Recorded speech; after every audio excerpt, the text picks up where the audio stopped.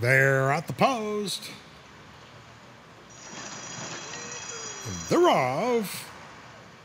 May's Treasure Trove, a dangerous honor. And to the outside, Quad Watcher comes on.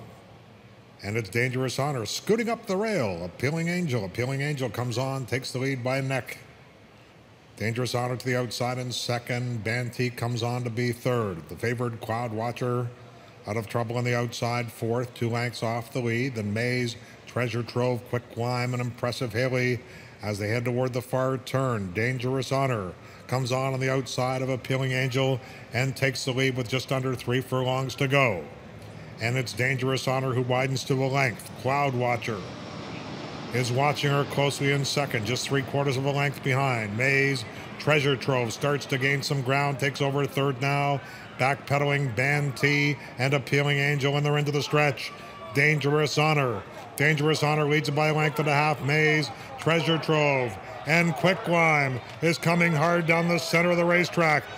Desperate now is Dangerous Honor. Here comes May's Treasure Trove and Quick Climb. Quick Climb surges to victory over May's Treasure Trove. A resurgent Banty was third. Dangerous Honor tired late fourth.